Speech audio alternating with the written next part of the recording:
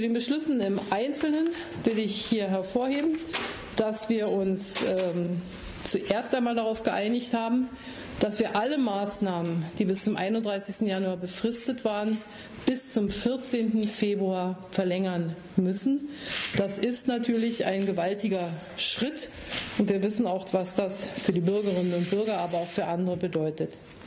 Zweitens bleibt es bei der Art der privaten Zusammenkünfte, die erlaubt sind, also ein Hausstand und mit einer weiteren nicht zum Hausstand gehörenden Person.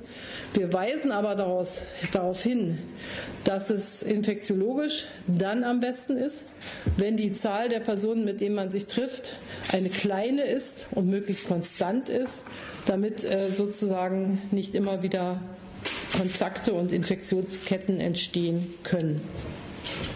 Wir erweitern die Pflicht zum Tragen von medizinischen Masken, also OP-Masken oder auch Masken äh, von der Qualität FFP2 oder KN95, N95, um eine höhere Schutzwirkung zu haben. Das gilt für die öffentlichen Verkehrsmittel und für die Geschäfte.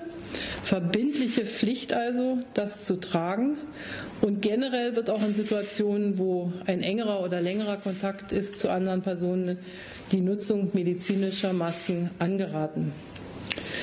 Das Ziel von uns ist, die Kontakte im öffentlichen Personennahverkehr so zu reduzieren, dass das Fahrgastaufkommen deutlich zurückgeht, dass in der Regel die Abstände gewahrt werden können und wie wollen wir dieses Ziel erreichen? Einmal durch weitgehende Nutzung von Homeoffice-Möglichkeiten. Hier sind wir weit hinter den Werten, die wir im März hatten des vergangenen Jahres zurück, indem wir das alles tun, um das Fahrgastaufkommen zu entzerren in den Stoßzeiten des Berufs- und Schülerverkehrs und ähm, eben ergänzend die Pflicht zum Tragen medizinischer Masken.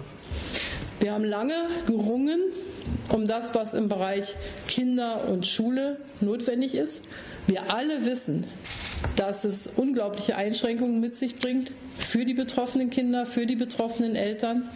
Aber es gibt ernstzunehmende Hinweise, dass die Mutation B117 des SARS-CoV-2-Virus sich auch stärker unter Kindern und Jugendlichen verbreitet, als das bei dem bisherigen Virus der Fall ist.